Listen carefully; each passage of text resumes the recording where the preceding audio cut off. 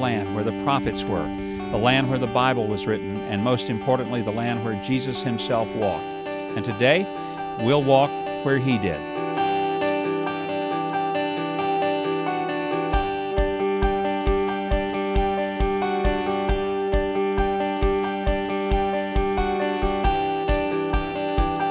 It's changed the way that I read the Bible this week, and I think it'll change our relationship with the Lord when we go back.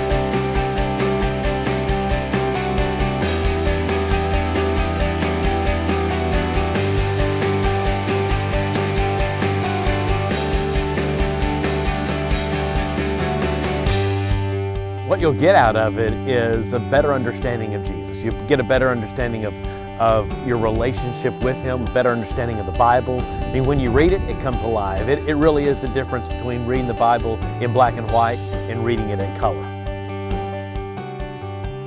We don't worship uh, a faith that is based upon someone who lived and died. We base it on the reality of a person who died but who now lives.